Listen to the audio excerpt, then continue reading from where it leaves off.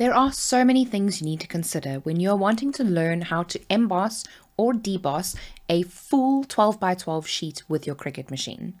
It will require each element of this process to be close enough to perfect in order to get this right. So make sure to watch the entire video for every tip that I have to share at each stage of the process. My name is Kelly and let's get clacking. This method that I'm going to be outlining is only possible using the Maker or the Maker 3 machines. None of the other machines in the Cricut range will be possible to do this method. If you do have another machine and you want to try something similar, let me know in the comments and I will explore other options for you. The first thing that we're going to start off with is the design. Now, when it comes to these kinds of designs, you need to make sure that your design is set up in a certain way so that the majority of your mat is exposed to allow for the piece of paper that you place on top of your debossing stencil is able to stick to it. Now, this design that I've created here is a nice little steampunk type design, and I created it by taking things out of Cricut Access, welding them together, etc., etc. So this entire project that we're working on will be available on my Cricut Design Space profile, and I will leave a link in the description for you to go and follow me on Cricut Design Space to gain access to pretty much all of the projects that I actually use these videos for, unless there's an uploaded element that I have to use, so that you can follow on and create the exact same project that I do. Now, in order to make the stencil, we need to think about what we want this design to look like. Currently, it's just set to a basic cut result. If this is what we want to have debossed or embossed, I like to use the offset method to get a more crisp deboss. So what we're going to do for this one is I'm then going to cut this out of craft board and I'm going to cut the internal offset. Because I want to have this embossed on the page, I need to use an internal offset for my cut so that we're cutting the piece and then embossing what is outside. So we're actually getting the lines exactly like this. So I'm going to click on the offset feature in the top of the screen and automatically it will be set to an external offset, which we don't want. So I'm going to highlight this number, type in negative 0.02 and I'm going to click on the little white block somewhere for it to apply. It generally takes a few seconds for the computer to think about it and then it will apply the offset. You'll see a slightly blue line around all of the edges. So what I'm going to do now is click apply. Now it goes completely black. So with this, if we zoom in super, super close, you won't really be able to see very much until you've actually changed the color of the layer or changed the one layer to deboss. So this layer that we've just done the offset on, like I mentioned, that is the layer that we need to cut.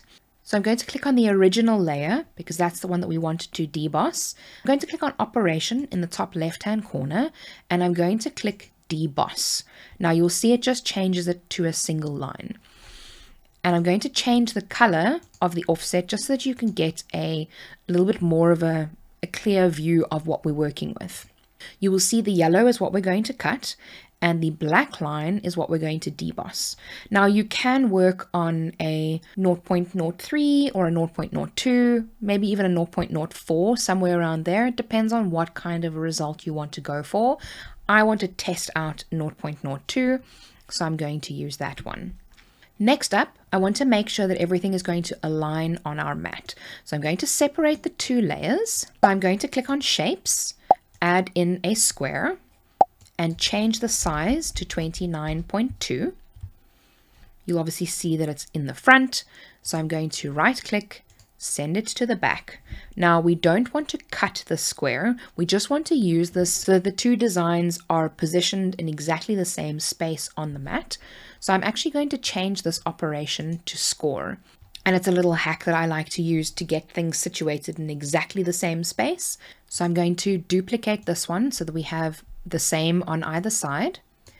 I'm going to select both of those layers. So only one square and the deboss layer. Then I'm going to click align, center them, right click and attach. So I'm going to do the same for the second section. So I'm going to select both of the layers, align, center, right click and attach. Now we have two pages essentially. So it's not going to do the same thing on the same page, which is a little bit of a an adaptation to the original method that I've been using, as it makes it easier to manage the two different pages. And now we're going to click make it and then continue after we've connected to our machine. When sending this to cut, we need to make sure that our mat selection is correct. So because we're going to be doing the basic cut first and then the deboss afterwards, we need to make sure that we have mat 2 selected and then we can select the craft board, which is the material that I'm going to be using for this. The next thing you'll need to do is to change your tools and material.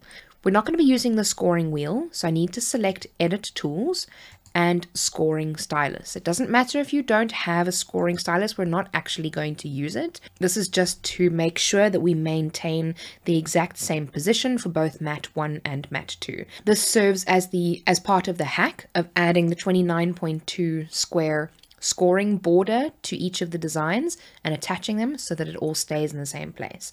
So the machine will technically score that, but because we don't have anything inserted into the clamp A, it doesn't make a difference. It's not going to do anything.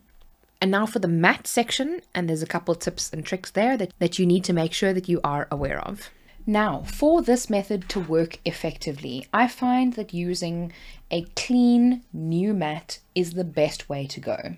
Because you need the smaller parts to stay on the mat, you need to make sure that your mat is as sticky as possible and as new as possible in order for this to work the best. If you are not looking for a very deep emboss, you can use cardstock as it won't give you as crisp a result as craftboard because normal cardstock is a lot thinner. So what I would then suggest doing is using the ugliest colors that you have, or the colors that you don't use the most, is probably a better way of saying it. Now this is a color that I don't use very often, so I would use this. However, because I want to get a slightly crisper emboss, I'm going to be using the craft board. So we're going to put the craft board on the page, and the next step is to make sure that you bray it on extremely well.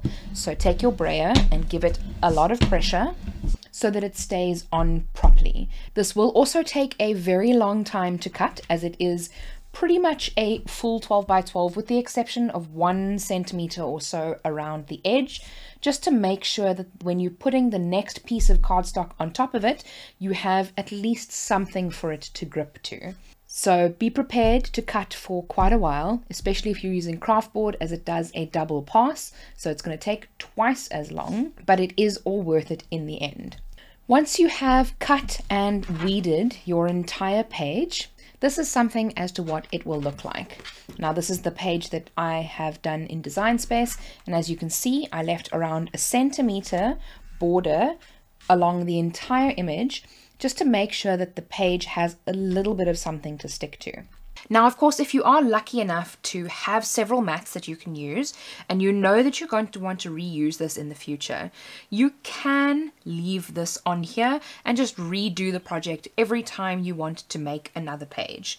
So if it is something that you're going to reuse often, it might be worth keeping a mat for each kind of embossing project if that's what you maybe base your livelihood on. You can just put the mat protector back on and you'll be able to take it out later and only deboss it. Great idea. When choosing the paper that you're actually wanting to deboss, the things that you need to be aware of are that if you are choosing a thinner paper, like a lighter GSM paper, think of light cardstock, when you're working with, you know, 180 GSM or something like that, you are going to get a crisper, deeper deboss.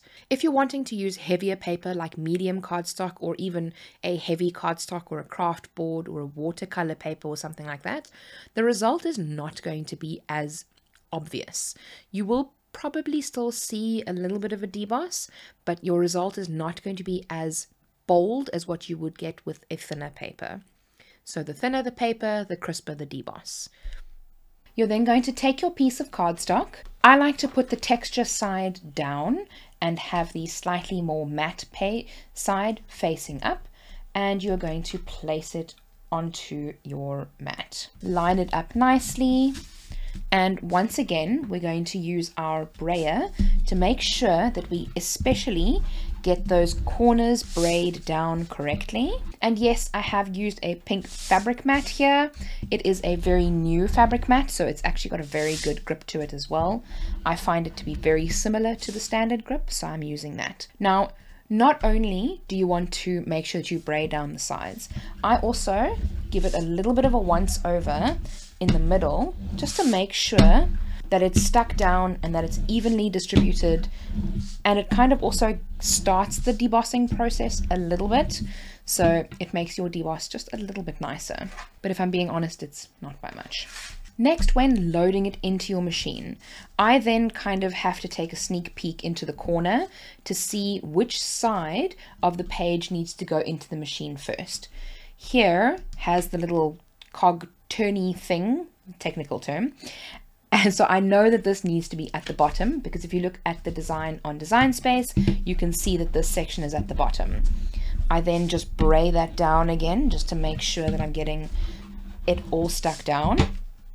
And then I also like to go one step further and I like to use pieces of washi tape to tape down the edges so that they don't come up because that's when I have the most problems is when it gets to an edge piece and it comes up on the edges. So we tape down every edge and then for good luck I go over those sides on with the brayer again. Now we're going to load this into the machine and let the debossing do its thing. We need to make sure that we're selecting mat 1, which has the debossing layer, just like we made sure to select mat 2 when we did the cutting layer. And again, we're going to let it go for a while because this is going to take a while.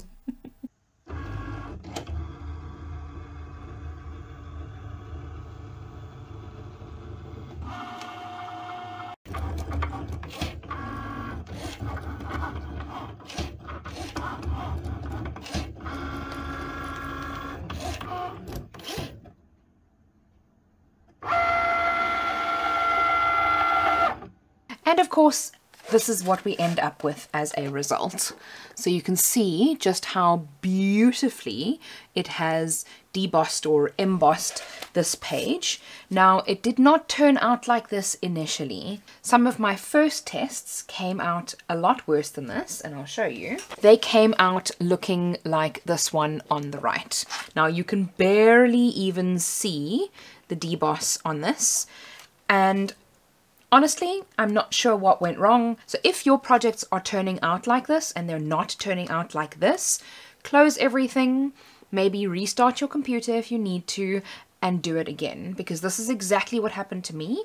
I had four pages come out like this and when I restarted everything it came out like this and I didn't change anything else. Just a word of advice, if this is what is happening to you, restart everything and then you will get this. Thank you so much for watching. If you found this helpful, please give it a thumbs up. Check out this video on learning how to use the perforation blade if you haven't yet. Subscribe for more Cricut tutorials in the future and remember, be kind to someone today. See you soon.